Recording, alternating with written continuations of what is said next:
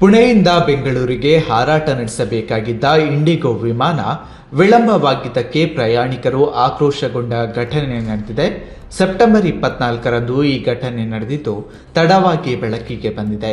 Pilot ತನ್ನ ಕರ್ತವ್ಯದ ಅವಧಿ ಮುಗಿದಿದೆಂದು ಉಲ್ಲೇಖಿಸಿ ಹಾರಲು ನಿರಾಕರಿಸಿದ್ದಾರೆ. ಇದರಿಂದಾಗಿ ಪುಣೆಯಿಂದ ಬೆಂಗಳೂರಿಗೆ ಹಾರಬೇಕಾಗಿದ್ದ ಇಂಡಿಗೋ ವಿಮಾನವು ಐದು ಗಂಟೆಗಳ ವಿಳಂಬವನ್ನು ಅನುಭವಿಸಿದೆ. ವೈರಲ್ ವಿಡಿಯೋದಲ್ಲಿ ಪ್ರಯಾಣಿಕರು ಆಕ್ರೋಶ ವ್ಯಕ್ತಪಡಿಸುತ್ತಿದ್ದಾರೆ. ಇನ್ನು ಈ ಘಟನೆಗೆ ಸಂಬಂಧಿಸಿ ಇಂಡಿಗೋ ಸಂಸ್ಥೆ ಕ್ಷಮೆಯಾಚಿಸಿದೆ ಇದು ವಿಮಾನ ಕರ್ತವ್ಯದ ಸಮಯದ ಮಿತಿಗಳಿಗೆ ಸಂಬಂಧಿಸಿದ ಕಾರ್ಯಾಚರಣೆಯ ಕಾರಣಗಳಿಂದಾಗಿ ವಿಳಂಬವಾಗಿದೆ. ವಿಳಂಬದ ಬಗ್ಗೆ ಪ್ರಯಾಣಿಕರಿಗೆ ಮಾಹಿತಿ ನೀಡಲಾಗಿತ್ತು. ಪ್ರಯಾಣಿಕರಿಗೆ ಸಹಾಯ ಮಾಡಲು ನಮ್ಮ ತಂಡವು ಅವಧಿಯುದ್ದಕ್ಕೂ ಲಭ್ಯವಿತ್ತು. ಉಂಟಾದ ಅನಾನುಕೂಲತೆಗಾಗಿ ನಾವು ಕ್ಷಮೆಯಾಚಿಸುತ್ತೇವೆಂದು ಇಂಡಿಗೋ ಹೇಳಿದೆ. कॉल कर सकता है उसको बुलाओ यार ma'am ma'am ma'am ma'am please don't want to take the flight every right now I need to take out your passport I'm not dealing with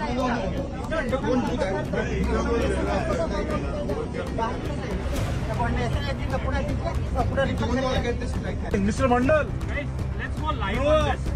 You're above 45, I think you should grow up. Sir, sir, can you come out? Okay, this is Let's go live on this.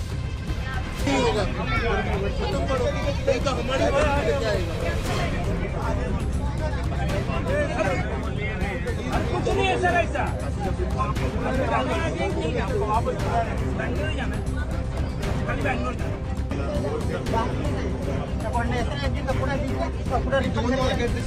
Mr. Mandal, Guys, let's go live grow on up. this. You're above 45, I think you should grow up. Sir, sir, can you come out? Let's go live on this.